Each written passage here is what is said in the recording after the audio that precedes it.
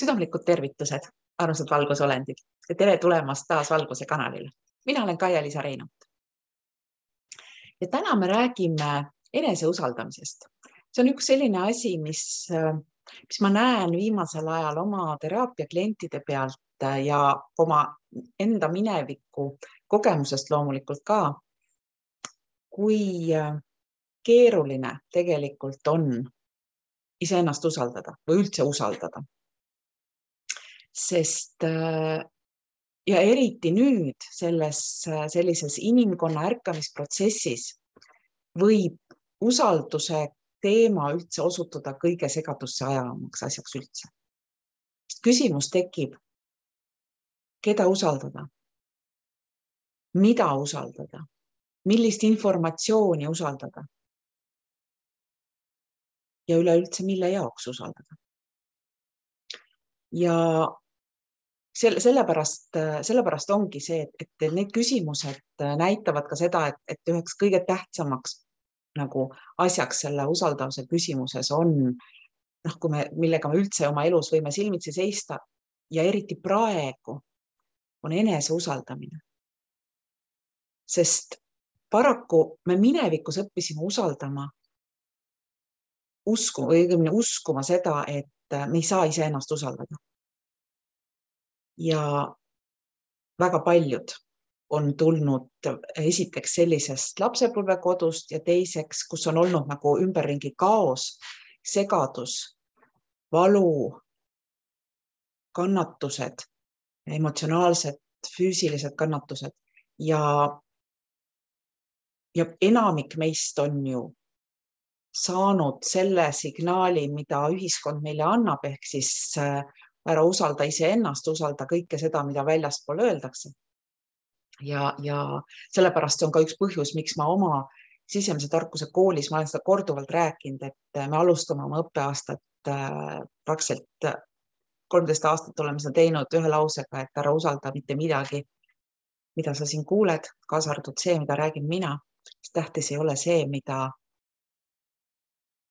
tähtis oli see, et sa hakkaks uskuma vaid tähtis on see, et sa õpiksid usaldama iseennast, oma sisetunnet ja valima sellises rahuseisundis välja need asjad, mis sulle sobivad ja jätta ülejäänud lihtsalt sinnapaika, ilma hinnanguteta, ilma millegita. et see on see, mis, mis aitab meil ka praegusel ajal hästi väga hästi toime tulla sellega, mis ümberringi on, ehk siis meid on väljaspoolt õpetatud usaldama ja seda teeb ka meedia ohtralt, et õpetada ainult usaldama seda, mis tuleb nii-öelda ametlikust allikast, et siis see on tõsi.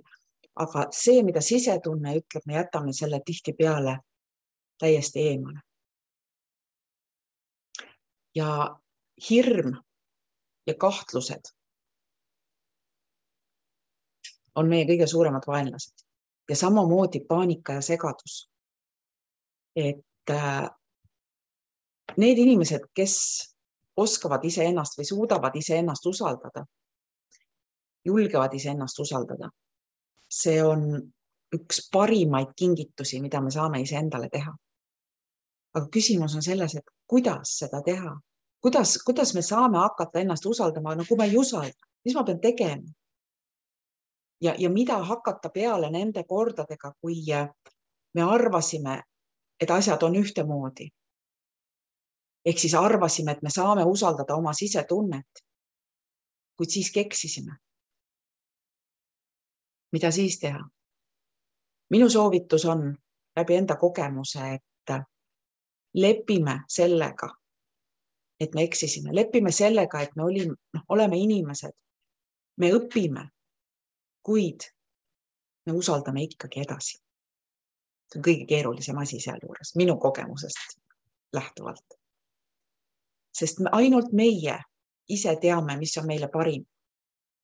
ja kui me eksime ja peame nii-öelda meelt muutma ehk siis teistmoodi hakkama mõtlema, siis uskuge mind, meid usaldatakse selleni, kuid see on võimalik ainult siis, kui me usaldame seda, kus me oleme täna. see, et me täna oleme täpselt seal, kus me peame olema, täpselt sellel hetkel, kui me peame olema. see on ka usaldus. see on usaldus selle ees, et elu meid kannab ja kõik on täpselt nii-öelda, kõik on täpselt nii, nagu peab. samas me saame ju pöörduda teiste poole, et saada jõudu ja tuge ent see eneseusaldus sealjuures on hädavajalik. eneseusaldus on vajalik, aga mida ma soovitan mitte usaldada, on ära usalda hirmu. hirmus sa ei tunne ära neid õigeid vastuseid sinu jaoks ja ära usalda paanikat, ära usalda hirmu, ära usalda paanikat. Sest ainus asi, mida me võime usaldada, on, kui me oleme rahus ja tasakaalus, usaldada iseennast ja seista oma tões ja valguses. see on meil juba praegu olemas. meil on kogu valgus, mida me täna vajame. ja homne valgus antakse meile homme. ehk siis usalda, usaldades ennast, saame teada, keda tegelikult tasub usaldada. Ja usaldades iseennast, saame ka teada, mida me peame tegema ja kui me tunneme, et me ei saa absoluutselt iseennast usaldada, siis minu soovitus on usalda.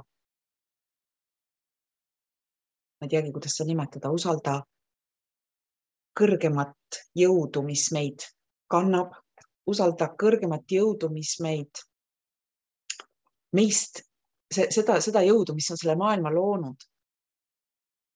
Et see energia, see vägi, see teadmine ja tarkus juhataks meid tõeni. ja kui me ikkagi ei suuda ennast usaldada, siis me saame paluda sedasama universumit või, või ükskõik, kuidas me seda nimetame, vahet ei ole.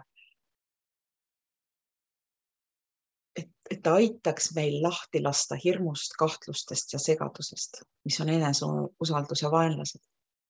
Ja et, et ta, see, see energia või vägi aitaks ja see tarkus aitaks meil edasi liikuda rahus ja kindluses ja et ta aitaks meil kasvada selles usalduses enda ja kõige teiste vastu.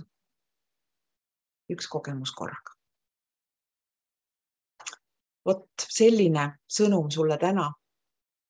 ja mul on teile ka teadaanne siia lõppu, et homme, see on äh, laupäeval, kaheteistkümnendal märtsil ilmub siis kolmas osa seminarist Viimane vaatus ja seal me räägime Kesarast, Mesarast, QFS-ist ja ka värskeid uudiseid Ukrainast äh, selle nii-öelda taustajõudude koha pealt.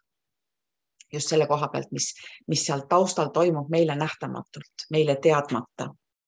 Nii nagu alati me oleme rääkinud seda nendest asjadest, mis, mis taustal toimuvad. ja selleks korraks mina lõpetan ja kohtume juba õige pea Valguse kanalil. kohtumiseni.